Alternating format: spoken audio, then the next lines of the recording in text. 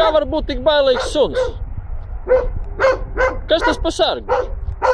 Pats sargājams. Es tūlīt noraušu zobu un aizskries vispār prom.